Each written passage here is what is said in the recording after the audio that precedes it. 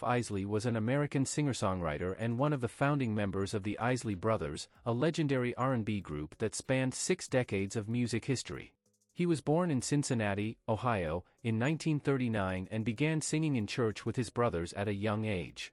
He co-wrote and sang on many of the band's classic hits, such as Shout, Twist and Shout, It's Your Thing, Harvest for the World, and It's a Disco Night, Rock Don't Stop.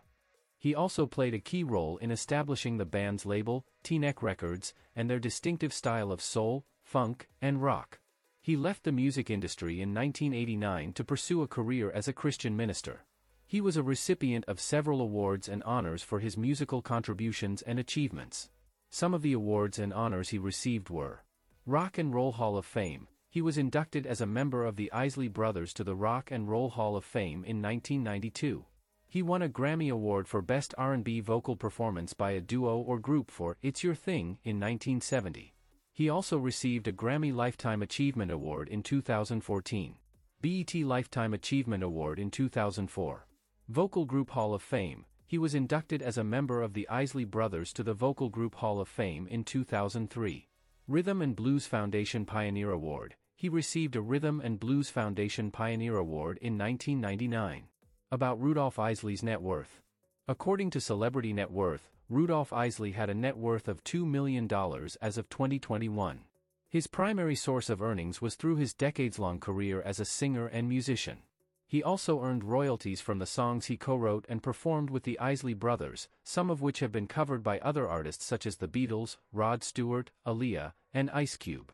He owned several houses in different locations throughout his life. Some of the houses he owned were a house in Teaneck, New Jersey that he bought in 1960 for $40,000. He lived there for 10 years with his wife Elaine and their children. A house in Haworth, New Jersey that he bought in 1970 for $100,000. He moved there after selling his Teaneck house. A house in Otisville, New York that he bought in 1989 for $300,000. He retired there after leaving the music industry and becoming a Christian minister. A house in Olympia Fields, Illinois that he bought in 2013 for $950,000. He moved there to be near his children and grandchildren who lived in Chicago. He was also a car enthusiast who owned several luxury and exotic vehicles. According to an interview he gave in 2017, some of the cars he owned included a Rolls-Royce Phantom that he bought in 1973 for $65,000. He said it was his favorite car and he still drove it occasionally. A Lamborghini Countach that he bought in 1985 for $150,000. He said it was a very fast and powerful car, but also very hard to drive and park. A Ferrari Testarossa that he bought in 1986 for $180,000. He said it was a beautiful and elegant car, but also very expensive to maintain. A Mercedes-Benz SLR McLaren that he bought in 2005 for $450,000. He said it was a modern and sophisticated car, but also very rare and exclusive. He also owned several other cars over the years, such as a Cadillac Eldorado, a Lincoln Continental, a Bentley Continental GT, and a Porsche 911. He said he loved cars because they were a symbol of success and freedom. Early life and education? Isley.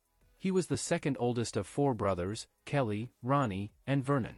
The Isley family was very musical, and Rudolph began singing in church at a young age. By his teen years, he was performing with his brothers in local clubs and talent shows. In 1957, following the death of their brother Vernon, Rudolph and his brothers moved to New York City to pursue a music career. They struggled at first but eventually landed a record deal with RCA Records. In 1959, they released their first hit single, Shout. The song was a massive success, and it launched the Isley brothers into stardom.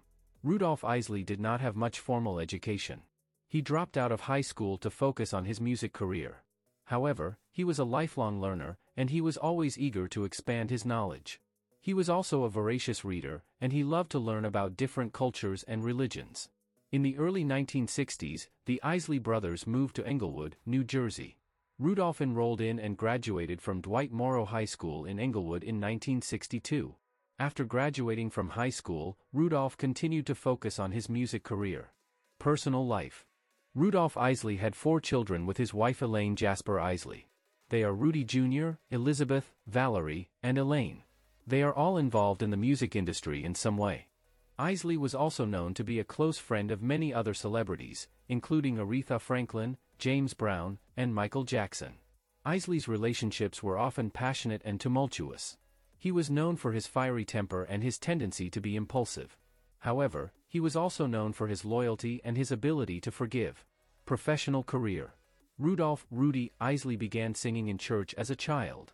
In his teenage years, he joined his brothers Kelly, Ronnie, and Vernon to form the Isley Brothers. After Vernon died in 1957, the remaining three brothers moved to New York to pursue a record deal.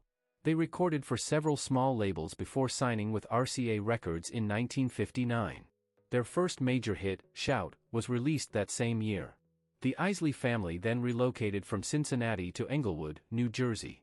After their hit, Shout, the Isley Brothers recorded for other labels with modest success, except for the top 40 hit, Twist and Shout, and the Motown hit, This Old Heart of Mine, Is Weak for You. In the 1960s, Rudy and his brothers founded T-Neck Records to promote their recordings. After their split with Motown, they reactivated T-Neck and scored a Grammy-winning smash with It's Your Thing in 1969. While Ron Isley was the group's lead singer, Rudy recorded a few lead vocals on Isley Brothers songs after T-Neck was reactivated. When the group reorganized into a band with the inclusion of younger members, Rudy focused on rhythm guitar and backing vocals. After the Isley brothers reorganized into a band with the inclusion of younger members Ernie, Marvin Isley, and in-law Chris Jasper, Rudy became known for his flamboyant appearance, including hats and fur-attired clothing, and for carrying a cane. He shared lead vocals with his brothers Ron and Kelly on hits such as Fight the Power and Livin' in the Life, and sang full lead on other songs such as You Still Feel the Need from the album Harvest for the World and their 1979 hit It's a Disco Night, Rock Don't Stop. In 1986, Rudy's eldest brother Kelly suddenly died of a heart attack in his sleep, which devastated Rudy. After recording the album Smooth Sailin' and Spend the Night, Rudy left the group and the music industry for good in 1989 to pursue his lifelong goal of becoming a Christian minister. Rudolph Isley's later career move after quitting music was to become a Christian minister. He said that he felt a calling from God to preach the gospel and share his testimony with others. He founded the New Revelation Baptist Church in Los Angeles, where he served as the pastor for over 30 years. He also wrote a book titled, From Shout to Shout, My Life Story, in 1998, where he chronicled his journey from fame to faith. He said that he was grateful for his musical legacy, but that his greatest joy was to serve the Lord and his people. Illness and death. Rudolph Isley died on October 11, 2023, at the age of 84, from natural causes. His death was announced by his publicist, Tarsha Howard. While the cause of death was announced as natural causes, Isley had been open about his health struggles in recent years. In 2021, he was diagnosed with type 2 diabetes, and he had been dealing with kidney problems for some time. He was also a smoker, and smoking is a major risk factor for lung cancer. Isley's illness and death were a major loss for the music industry. He was a true musical legend, and his music continues to be enjoyed by people of all ages around the world. He was also a loving father, grandfather, and friend. His death leaves a void in the lives of all who knew and loved him. You might be gone, but most certainly you will never be forgotten. For more subscribe and click on the bell notification.